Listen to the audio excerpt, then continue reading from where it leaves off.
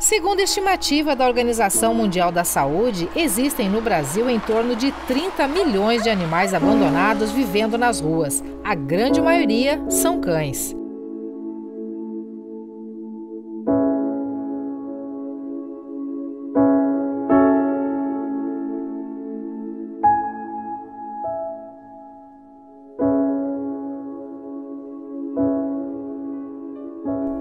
Problema que se agrava e aumenta cada vez mais, já que a cada cria, uma fêmea gera em torno de seis filhotes ou mais.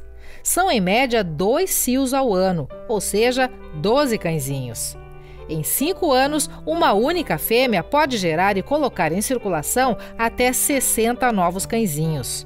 Uma realidade que pode ser mudada com adoção, posse responsável e castração. Cada animal adotado carrega consigo e gera novas histórias e até propósitos. É o caso do Leco, do Rock e da Pitucha. Sim, eles ganharam crachá, afinal de contas, agora pertencem a uma empresa. No início de 2018, o Leco chegou, circulava pelo estacionamento e devagarinho encantou os funcionários que trabalham neste depósito. Quando Rock e a Pitucha apareceram e também caíram nas graças de todos, surgiu a ideia de adotá-los como integrantes da equipe em março deste ano. A intenção foi motivar outras empresas a fazer o mesmo, a seguir o exemplo um ato que isso não atinge somente a empresa, não atinge somente o pet, atinge a comunidade. É um bem ter um animal castrado, isso reduz a parte de reprodução em massa. Um animal bem tratado, um animal que não esteja na rua, porque um animal que está na rua, ele está passando por dificuldades como fome, como sede, mas também causa a preocupação como acidentes, aonde pode não só causar um dano para ele, mas para a comunidade, para as pessoas que estão transitando. O recanto da bicharada fica nos fundos do estacionamento. Durante o dia, os três cães ficam em espaço reservado. Os lenços no pescoço são uma forma de identificação e de aparecer bem diante das câmeras, já que aqueles crachás lá das fotos são apenas lembranças. Adivinhe por quê? Me contaram que eles não usam o crachá funcional porque esse cachorrinho aqui, ó, adora comer os crachás o dele e destrói o dos outros também. Então, vão trabalhar sem identificação funcional. Mas está tranquilo, eles são de casa. E enquanto o Leco faz de conta que é quietinho, o Rock quer mais é interagir e receber carinho e atenção. Gente, desde que eu cheguei aqui, esse aqui tem sido mais saliente. O Rock, onde a gente vai, ele vem atrás. Olha só, ele quer brincar.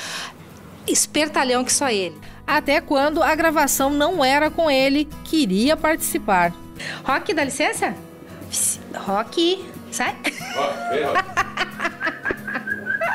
Vai, garoto. Vai lá com o tio, vai. Vai lá com o tio Hermes, vai. Vai com o tio Hermes, vai lá, chama ele. Vai lá com o tio Hermes, vai. Vai, vai. E como eu disse lá no início, cada animal traz consigo e também faz história. É o caso da pitucha. Hoje, os dias dela são assim, tranquilos, mas quando chegou, vivenciava outra difícil realidade. A Pitucha, quando chegou aqui, estava de barrigão. Ganhou seis filhotinhos, mas recebeu toda a assistência. Os filhotes foram adotados, foram doados, e ela seguiu aqui, ó, nesta vida tranquila, mansa, com toda a assistência, castrada, enfim, e adotada. Joel, qual é a tua rotina no dia a dia com os cães? Do dia a dia é que eu chego aqui de manhã cedo e o meu chefe manda eu vim aqui, a primeira coisa é fazer a limpeza aqui, né? É? Uhum. Fazem muita bagunça? Não, não é, são bem calmos. Uhum. É? Desde o início se acostumaram contigo tranquilamente? Aham, uhum. é? desde o início. Quando o pessoal chega no dia a dia aqui, estacionamento o dia inteiro, tem movimento, né? Chama a atenção do pessoal? Chama, chama bastante atenção. Aí sai de lá, passeio aqui. Além de incentivar a adoção e cuidados com os animais, a empresa também aposta na integração dos pets à rotina dos donos. Rotina como fazer compras, por exemplo. Este supermercado da rede está em reformas e, quando reinaugurar em setembro, será o único da cidade a permitir acesso e livre circulação de pets.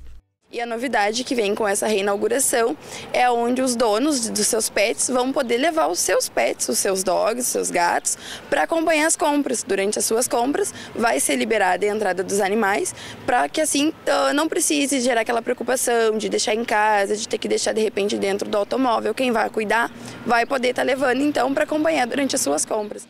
O Leco, a Pitucha e o Rock foram adotados por uma empresa e, como tal, eles devem prestar serviço a essa empresa, mas de uma maneira toda especial. E o expediente deles começa ao final de cada dia. É nesse momento que eles começam a trabalhar. Eles trabalham então das 20h30 até as 8 da manhã, que é quando nós retornamos com o horário de funcionamento, o estacionamento abre novamente para, para os clientes e então eles vêm para o momento de descanso. Bom, a gente até que tentou uma noite dessas acompanhar um expediente de trabalho dos três. Mas a noite estava fria, não avistamos ninguém. Bom, talvez fosse horário de intervalo, né?